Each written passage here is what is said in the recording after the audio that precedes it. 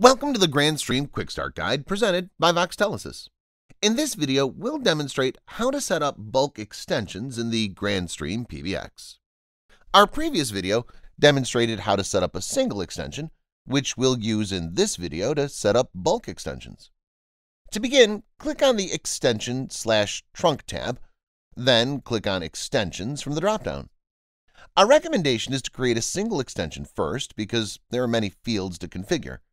To export your extension, hover over Export, then click on SIP Extension. Click on the Save File radio button, then click on OK. Open the CSV file. From here, you can add or modify an extension or extensions. In the A column, you can add the extension number. In the D column, you can add the outbound caller ID number to be displayed. This field's optional.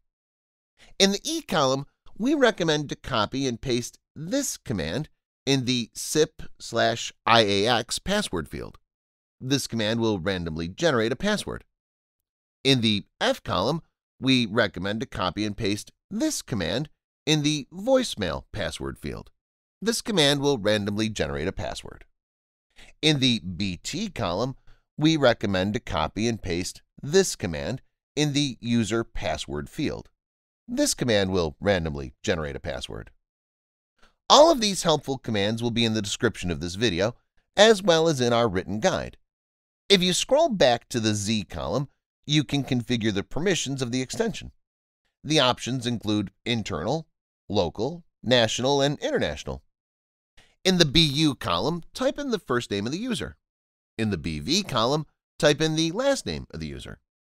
In the BW column, type in the user's email address. In the BY column, type in the user's cell phone number. Make sure you click on Save when you're done with the CSV file, then confirm that you're going to use the text CSV format. Go back to the extension setting in GrandStream. Click on Import. You can choose what the import does to duplicate extensions, skip, delete, and recreate, or update information. Click on Choose File to upload. The CSV file should have automatically been saved to your downloads. Select your CSV file, then click on Open. Verify your imported extensions, then click on Apply Changes. Congratulations! You've successfully configured bulk extensions in the GrandStream PBX. Check back for more videos on GrandStream, as well as other helpful guides.